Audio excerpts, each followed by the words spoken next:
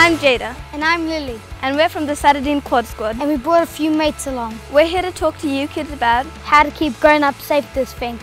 sometimes mums and dads forget to do the right thing. So it's up to us to make sure they know how to be safe and have a great time. When you're packing to go camping, there's lots of things you need to take food, water, your swag, and your toothbrush. Make sure your mum and dad bring their own firewood too. Animals live in the logs, branches, and trees along the track. We don't want to use their homes as a fire.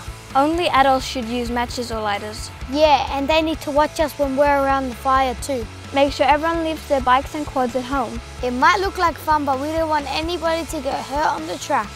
You know who else has to stay home? All your pets. It's for everyone's safety.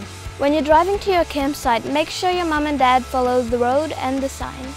No shortcuts. It's easy to get lost and you won't see any of the race. When the race is on, keep mum and dad away from the track. Stay behind the fences along the track. If there's no fence, stay at least 20 meters back from the track.